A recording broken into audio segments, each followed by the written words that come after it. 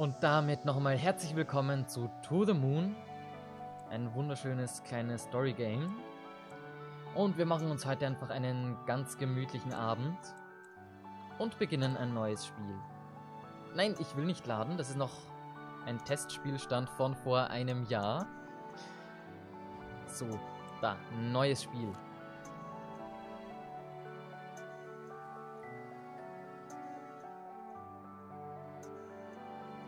Ja, die Musik ist echt schön. Ach ja.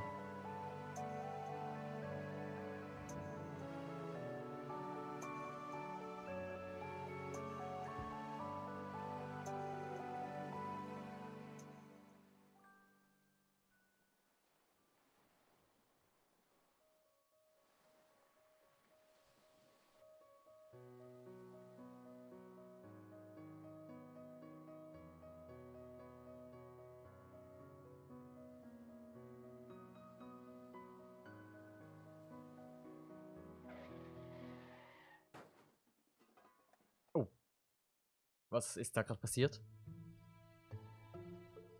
Oh, Autounfall.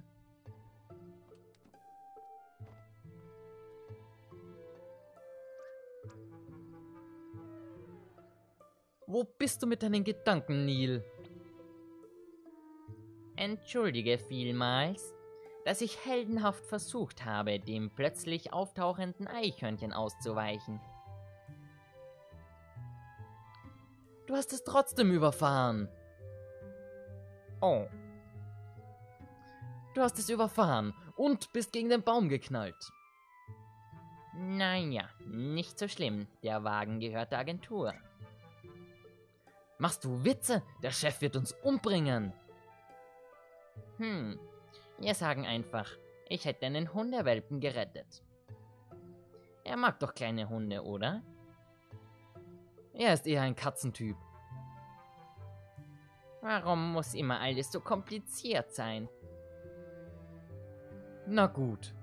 Wir haben sein Lieblingsfellknäuel gerettet. So, Krise abgewendet. Gut, das kannst du dann ja alles in den Bericht schreiben. Lass uns die Ausrüstung aus dem Wagen holen und losgehen. Linke Maustaste drücken, um mit einem Objekt zu interagieren. Gut, das heißt, wir interagieren mit dem Auto und holen unsere Sachen raus. Ausrüstung erhalten. Finding Paradise, stimmt, das soll ja auch dieses Jahr noch kommen. Habt das Mistding, lass uns loslegen. Rechte Maustaste drücken, um das Menü aufzurufen und zu schließen. Charaktere: Dr. Neil Watts, technischer Spezialist von der Sigmund Corporation und Dr. Eva Rosalin, Senior Memory Traversal Agent, was auch immer die damit macht, auch in der Sigmund Corporation. Und die beiden haben wir schon kennengelernt. Ausrüstung. Eine so schwere Kiste kann nur wichtige Dinge enthalten. Wir speichern nochmal. Ich speichere mal auf 3. So. Gut. Notizen haben noch gar keine. Und ich nehme an, wir müssen dort drauf, wo der Pfeil ist. Ich schaue mich aber erst einmal um. Wir können auch da nach oben gehen. Kann ich mir das nochmal anschauen? Das arme Eichhörnchen, was wir überfahren haben. Z, z, z. Ja, hör schon auf. Ich habe das Auto zu Schrott gefahren, nur um ihm auszuweichen. Was hätte ich sonst tun sollen? Ausweichen und das Auto nicht zu Schrott fahren vielleicht? Das ist ein bisschen viel verlangt. Oh, das arme Viech. Auf die Straße können wir sogar auch gehen, aber ich weiß nicht, ob wir da weit kommen. Nein, ich glaube, da ist Schluss. Okay. Spiel lieber mit Tastatur, macht sich besser als mit der Maus. Ähm. Ah, mit den Pfeiltasten, okay. Dann spiele ich es mit, mit Tastatur, wenn du meinst. Hey, warte mal, was ist mit dem Auto? Ich wollte nur sicher gehen, dass du es nicht vergisst. Auto abschließen ist immer wichtig, vor allem ein geschrottetes Auto, was eh nicht mehr fahren kann. Wie du immer an mich denkst. So, was ist das? Kann ich da? Nein, kann ich nicht anschauen. Ist wahrscheinlich nur ein Stein oder so.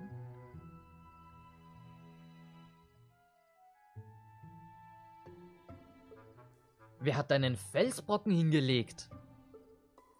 Vielleicht ist das ihr Sicherheitssystem. Zur Gurke nochmal. Unsere Zeit ist zu kostbar für solchen Quatsch. Versuchen wir ihn aus dem Weg zu rollen. Vielleicht können wir einen Ast als Hebel benutzen. Moment mal. Oder wir machen einfach Feierabend und geben diesem Ding hier die Schuld. Ja, Feierabend ist immer gut. Mission abbrechen? Nein, ich glaube, wir versuchen es jetzt mal mit den Händen.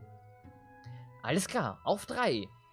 Eins, zwei, drei. Was? Was? Boinga, boinga, boinga. Das, hast du, hast du das auch gesehen? Was war das? Kein Felsbrocken, so viel steht fest. Ein Gummifelsbrocken. Naja, wir müssen sowieso weiter. Wir, wir können später noch drüber nachdenken. Ja, genau. Keine Ahnung, warum der eine so komische Stimme hat. Ich habe keine Ahnung.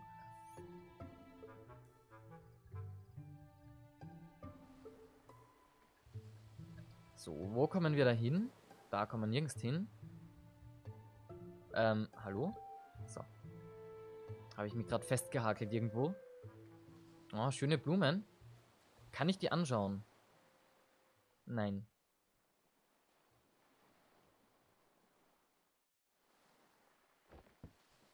Das ist, glaube ich, das Haus vom Anfang, was wir schon gesehen haben. Mhm. Mom, sie sind da!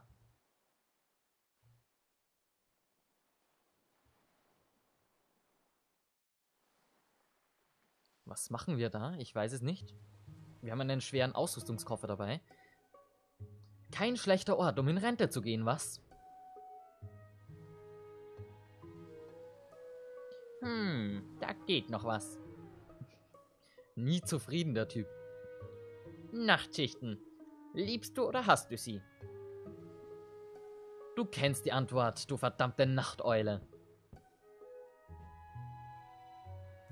Wir werden wahrscheinlich... Oh, wir werden wahrscheinlich wieder eine Nacht durchmachen müssen, weißt du? Ist mir klar. Und ich bezweifle, dass sie Kaffee haben. Halt den Mund! Und das Meeresrauschen wird unsere Ohren sanft umspielen. Davon werde ich bei deinem Gequatsche ohnehin nichts mitbekommen. Und deine Augen... Oh. Vergiss nicht unsere Ausrüstung, Idiot. Kann ich die mitnehmen? Danke. Lee. Die Witze werden auch immer schlechter.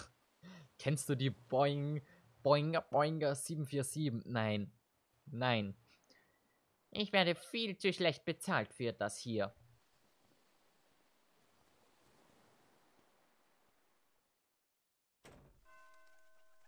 Erster Akt.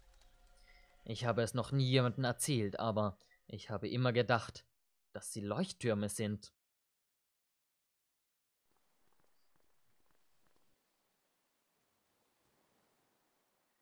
Dr. Watson und Dr. Rosaline nehme ich an.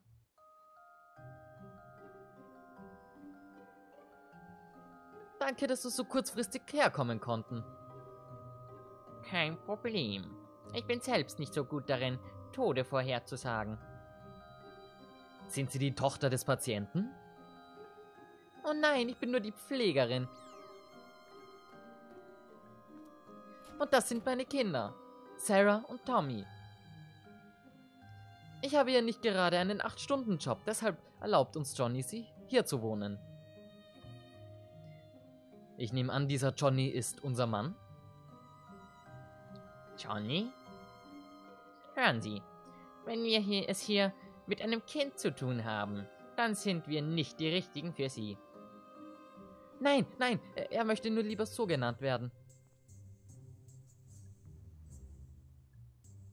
Er ist oben. Sein Arzt ist gerade bei ihm. Kommen Sie bitte mit.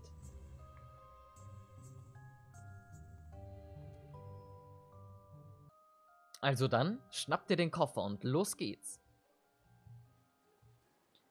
Wenn mein Rücken eines Tages schlapp macht, verklage ich dich auf Schadenersatz. So. Also, den da. Ausrüstung erhalten, sehr schön.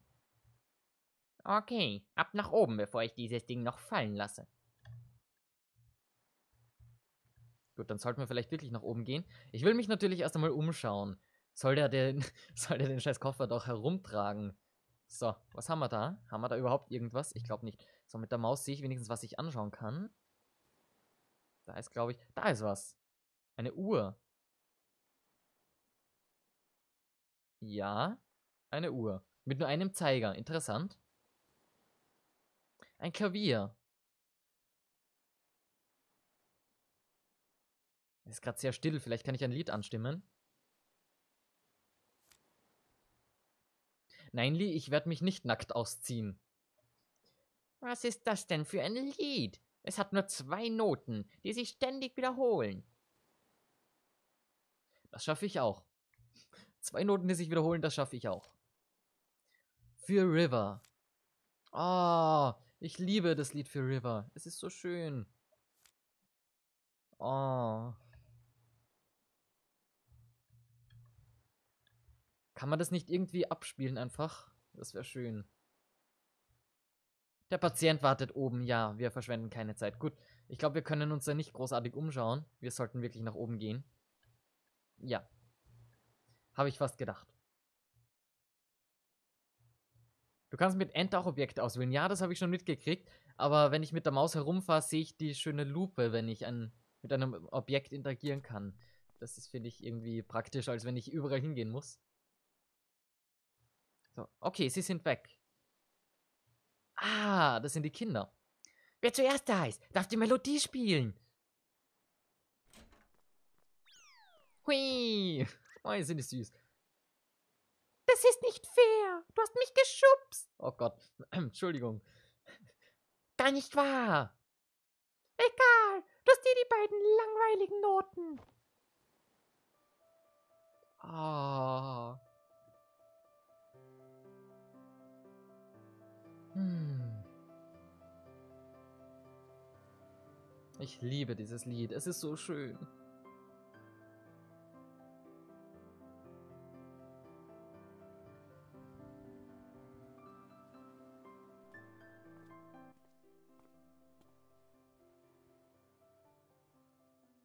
Für ihr Alter sind diese Kinder ziemlich gut.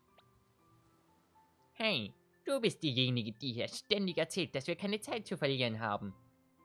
Wobei ich rein zufällig derjenige bin, der das Gewicht eines kleinen Meteoriten durch die Gegend schleppen darf. Ja, ja, komm schon. Oh, Grüße zurück, Grüße zurück. Ähm. Ah, da. Das ist unser Patient. Wollen Sie aufbauen? Ich schaue mich erst einmal um. Ach, ich glaube, ich möchte dieses unfassbar schwere Gerät noch ein wenig länger durch die Gegend tragen. Aber danke der Nachfrage. Ja. Darf er gerne noch länger durch die Gegend tragen, habe ich nichts dagegen. So, erst einmal die Bilder anschauen. Oh, ein Leuchtturm. Das Gemälde zeigt einen Leuchtturm an der Küste. Das Gemälde zeigt eine Frau. Sie hält etwas Gelbes und Blaues. Wahrscheinlich eine Banane und blaue Tomaten.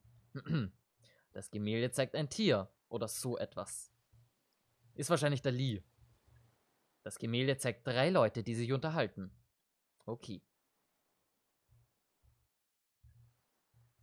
Das, Lied, äh, das Spiel ist zu leise, dann mache ich es lauter. Einen Moment. Dann mache ich es eine Spur lauter.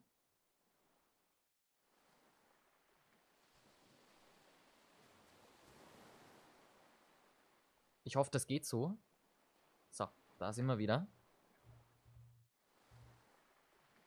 Was liegt da? Gar nichts. Kann ich da sonst noch irgendwas anschauen?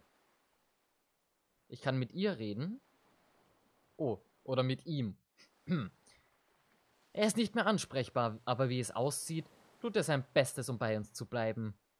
Schwer zu sagen, wie viel Zeit ihnen bleibt, aber ich werde mich beeilen. Liegt also im Sterben. Oh. Da kann ich mich hinsetzen, aber sonst nicht viel machen.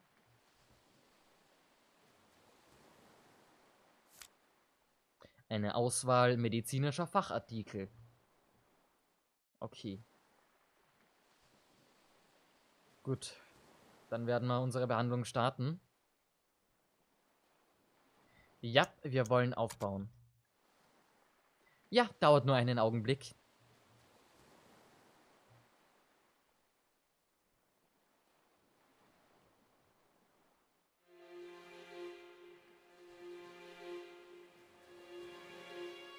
Sind Sie sicher, dass das eine normale Steckdose für Ihre Zwecke, dass eine normale Steckdose für Ihre Zwecke ausreicht? Keine Sorge. Wir sind die Fachleute auf dem Gebiet. Oh Mist. Solche Fachleute, echt. Reine Routine. Ich teste nur, ob ihr aufpasst. Na klar.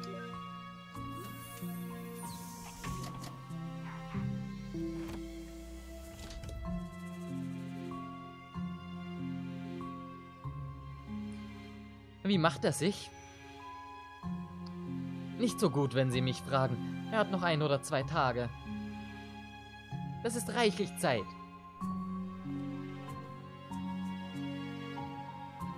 Sie beide können ihm also jeden Wunsch erfüllen, ja? Wir können es zumindest versuchen. Bis jetzt haben wir es noch immer geschafft. Wir sind einfach der Wahnsinn. Also, wie lautet der Wunsch? Der Mond.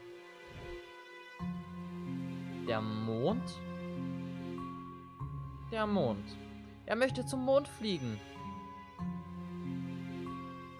Die alten Knacker werden auch immer abgedrehter, was? Also, ist das möglich? Hm, kommt drauf an.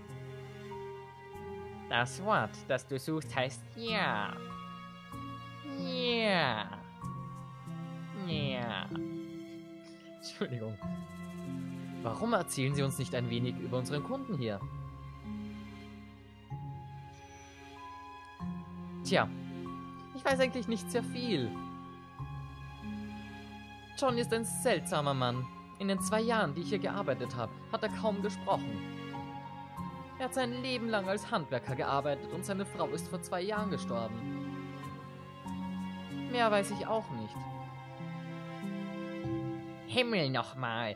Ich hätte mehr erfahren, wenn ich sein verdammter Zeitungsjunge gewesen wäre. Sei still, mach einfach deine Arbeit. Nun ja, ich denke, wenn Sie sich im Haus umsehen, können Sie noch einiges über ihn erfahren. Johnny hätte sicher nichts dagegen. Er hat sie beide ja beauftragt. Gut, dann machen wir das. Also, wer von uns beiden spielt Detektiv?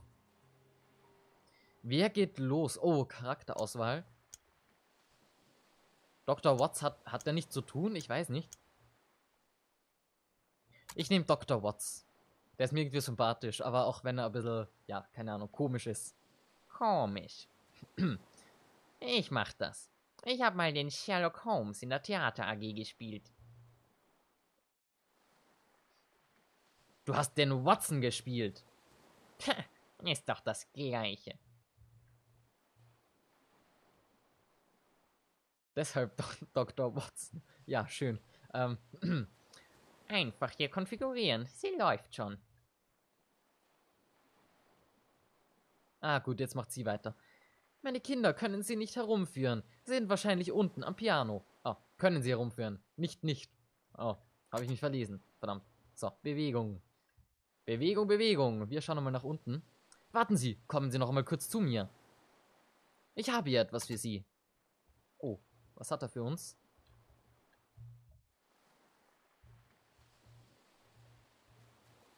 Hier, nehmen Sie das. Kabelloser Kontrollmonitor. Okay. Damit wissen Sie jederzeit, wie es Johnny geht. Ich hoffe, es hat keinen Selbstzerstörungsknopf. Was? Selbstzerstörungsknopf? Hoffentlich nicht. Ich hoffe, es hat keinen Selbstzerstörungsknopf. Dafür habe ich nämlich ein Händchen. Johnnys Kardiogramm ist jetzt im Menü aktiv. Das heißt mit Rechtsklick. Ah, da oben. Sein Herzschlag. Oh. Okay. Dann gehen wir nach unten.